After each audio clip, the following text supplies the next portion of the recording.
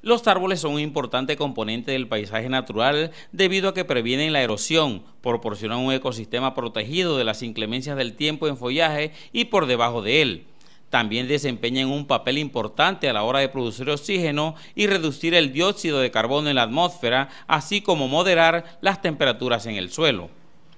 Sin embargo, eso parece no importarles a muchas personas que sin ningún control están acabando con la belleza natural de esta ciudad encontramos que en la avenida Fundación con carrera 18D, tres frondosos árboles de mango fueron sometidos al envenenamiento sin tener en cuenta las bondades y el beneficio que estos árboles le prestan a la ciudad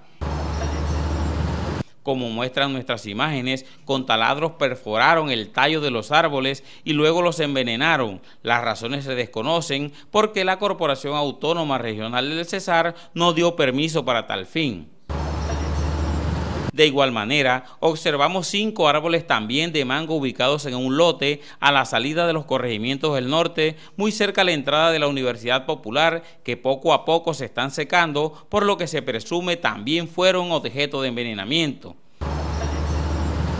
Los árboles también son elementos en el paisajismo y la agricultura, tanto por su atractivo aspecto como por su producción de frutos, así como una fuente de energía primaria en muchos países en vía de desarrollo. Ojalá en la ciudad de los Santos Reyes esto sea tenido en cuenta antes de talar, quemar o envenenar su belleza natural.